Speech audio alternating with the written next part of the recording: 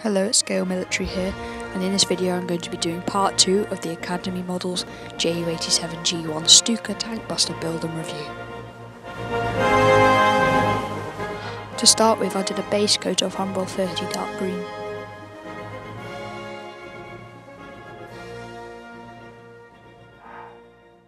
I did three fins down coats of this.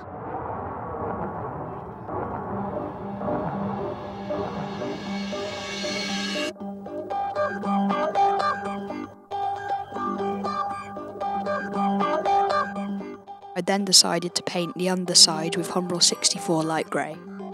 I did four coats of this, fins down with a ratio of 1 part water to 5 parts paint.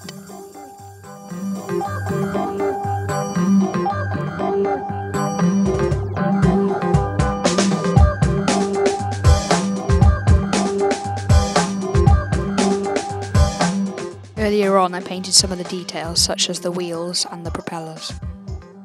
I simply used just a normal Humbrol 33 matte black.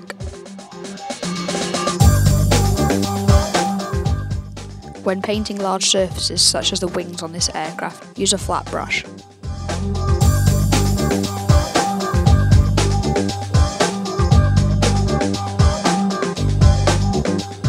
This is where I start to go crazy with lots of different mixes of different paints. This is because I didn't have the right colours of the paint for the wing stripes, so I just started mixing up random colours and making my own pattern.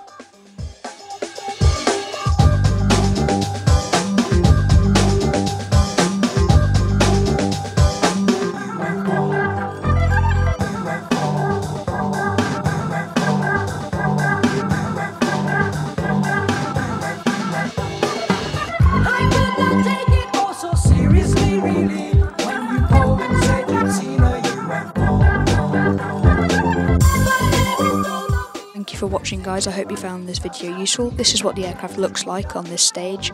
In the next video I'll be doing the decals, some more details, and then in the video after that I'll be doing a diorama for it. Thank you for watching and make sure to subscribe if you'd like to know when new videos come out.